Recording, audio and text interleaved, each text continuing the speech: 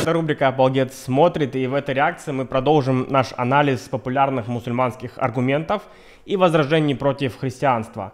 Так что присоединяйтесь к нам, делитесь этим видео с друзьями и пишите ваши мысли в комментариях. Готовы? Поехали. Почему, к примеру, вот у мусульман большая претензия, к примеру, христианам? Мы же говорим как им, да? Мы говорим, вы дайте нам Евангелие от Иисуса. Евангелие кому было дано?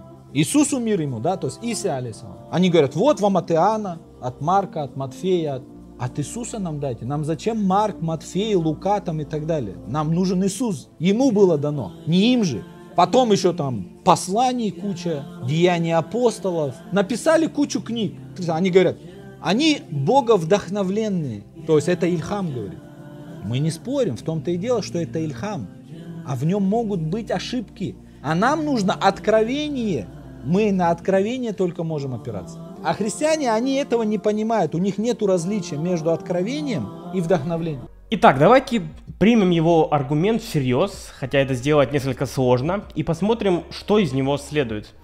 То есть мы должны считать надежными и достоверными только те книги, которые являются автобиографическими. Хорошо, давайте последуем дальше за этой логикой. Кто написал Коран? Кто его записывал?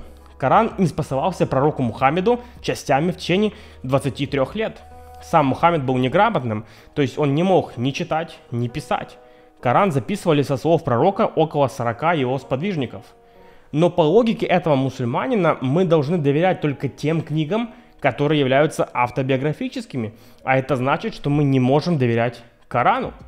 Дайте нам Коран, записанный самим Мухаммедом. Зачем нам Коран, записанный Абу Бакром, Усманом, Умаром и другими его сподвижниками? Все. Уже на этом можно было бы заканчивать реакцию. Просто потому, что такая логика является абсурдной. И удивительно, как много людей вообще могут в это верить. А как насчет истории ислама? Как насчет хадисов? История в целом редко является автобиографической.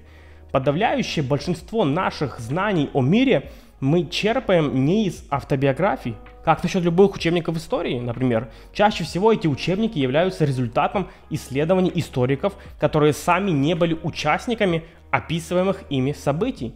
Делает ли это их труды ненадежными?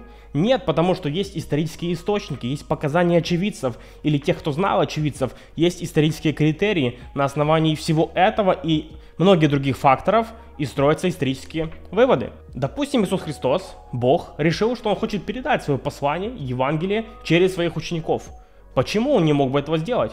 Ему не хватило бы могущества для этого, он не смог бы правильно им объяснить свои слова или сохранить свое слово. Мы не можем налагать свои произвольные рамки и ограничения на Бога. Если Бог решил действовать в этом мире через людей, и Он захотел, чтобы именно они передали Его послание, то кто может запретить Ему осуществить подобное? Далее, мы не можем просто отбросить свидетельства очевидцев или тех, кто знал очевидцев, или вообще любые показания, претендующие на достоверность, просто на основании того, что нам они не нравятся по какому-либо нашему критерию. Мы должны проверить эти источники на подлинность и уже тогда делать вывод. И Евангелия выдерживают проверку. Канонические Евангелия были написаны в первом веке. Они отражают исторические реалии того времени и содержат даже источники, которые датируются еще раньше, чем сами Евангелия. То же самое можно сказать и о посланиях Павла. Например, в 1 Коринфянам 15, 3 и далее Павел цитирует устную вероучительную традицию, которая, по мнению большинства исследователей Нового Завета, восходит к первым пяти годам после распятия Христа. Нехристианские источники совпадают с христианскими и в целом не противоречат им. Тацит подтверждает основные факты Нового Завета, такие как смерть Христа при Понтии Пилате в Иудее примерно в 30-х годах, гонение на христиан и так далее. Плиний-младший говорит о том, что Иисусу поклонялись как Богу первые христиане. Иосиф Флавий говорит о Христе и о его брате Иакове. Есть множество других аргументов в пользу достоверности Евангелий и того, что их писали очевидцы. Например, непреднамеренное совпадение – это когда разные Евангелия дополняют и подтверждают друг друга в косвенных деталях. Например, в Марка 3 главе 17 стихе Иаков и Иоанн названы сыны Громовы, но нигде не указано почему. Но в Евангелии от Луки в 9 главе 51 стиха и далее рассказывается история, как Иаков и Иоанн хотели уничтожить огнем самарянское поселение. Эти две истории дополняют и подтверждают друг друга, хотя записаны в разных Евангелиях и в разном контексте. В Евангелиях полно упоминаний верных исторических и археологических деталей. Даже частота использования имен указывает на их достоверность. В нашем недавнем подкасте с Питером Вильямсом мы обсудили гораздо больше аргументов в пользу достоверности Евангелий. Ссылку можете найти в описании к этому видео. Опять же, именно поэтому это лучшие источники об историческом Иисусе, по мнению всех профессиональных исследователей и историков Нового Завета, будь то атеистов или скептиков.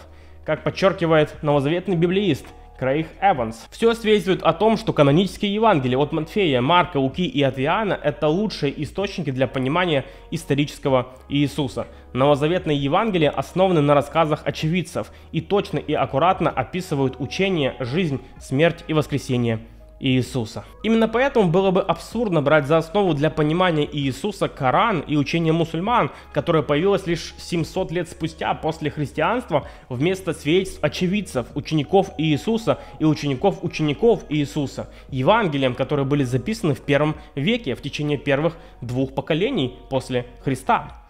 Наконец, в конце он пытается навязать христианам исламскую идею Ильхама, некоего божественного внушения, и что это не то же самое, что откровение и так далее. Все это не имеет никакого отношения к христианству. В христианстве под богодухновением подразумевается тот факт, что книги, которые были написаны под богодухновением, то есть под вдохновением Божьим, и являются Божьим откровением. Это именно то, что Бог хотел нам передать. Как пишет апостол Павел, все Писание богодухновенно и полезно для научения, для обличения, для исправления, для наставления в праведности. Да будет совершен Божий человек ко всякому доброму делу приготовлен. И как писал апостол Петр, и при том мы имеем вернейшее пророческое слово, и вы хорошо делаете, что обращаетесь к нему, как к светильнику, сияющему в темном месте, доколе не начнет расцветать день, и не взойдет утренняя звезда в сердцах ваших, зная прежде всего то, что никакого пророчества в Писании нельзя разрешить самому собою, ибо никакое пророчество не было произносимо по воле человеческой, но изрекали его святые Божьи человеки, будучи движимы Духом Святым. В данном тексте автор говорит, что Святой Дух был вовлечен в написание текста, движимый, буквально переносимый или унесенный. Таким образом, пророки, говорившие откровение от Бога, были направляемы Духом Святым, поэтому их слова были словами Божьими. И это является Божьим откровением.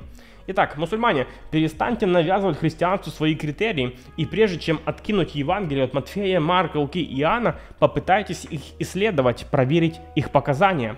Как подчеркивал библеист Глисон Арчер, получивший докторскую степень в Гарвардском университете, я цитирую, по мере того, как я анализировал одно предполагаемое расхождение за другим и изучал кажущиеся противоречия между библейскими данными и доказательствами из лингвистики, археологии или науки, моя уверенность в достоверности Священного Писания все более подтверждалась и укреплялась. Друзья, надеюсь, вам понравилось это видео. Если вы хотите видеть больше подобных реакций, а также самим участвовать в выборе материалов для них, то вы можете стать нашими патронами на Патреоне, что открывает доступ ко многим интересным бонусам, и тем самым вы поможете нашему служению существовать и дальше. Пусть Бог вас благословит.